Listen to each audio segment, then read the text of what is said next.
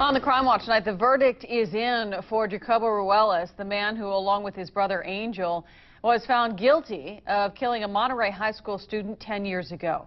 Action News reporter Jacqueline Mazer is live in Salinas with more. Aaron, 34-year-old Jacobo Ruelas was found guilty on all counts in the death of 17-year-old Christopher Olinger, guilty of first-degree murder, guilty of kidnapping, and guilty of carjacking. Olinger was robbed, stabbed, and thrown on the rocks and left to die on the rec trail in Pacific Grove in 1996. Family members say it's been a long journey and justice has finally been served.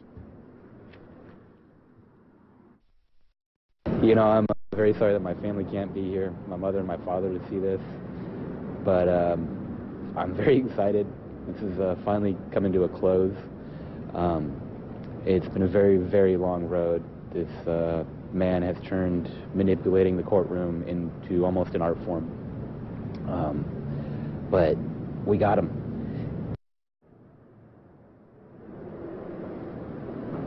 Christopher Olinger's killers, Angel Ruelas, was sentenced to life in prison, and his brother, Jacobo Ruelas, was found guilty just today on all counts tonight.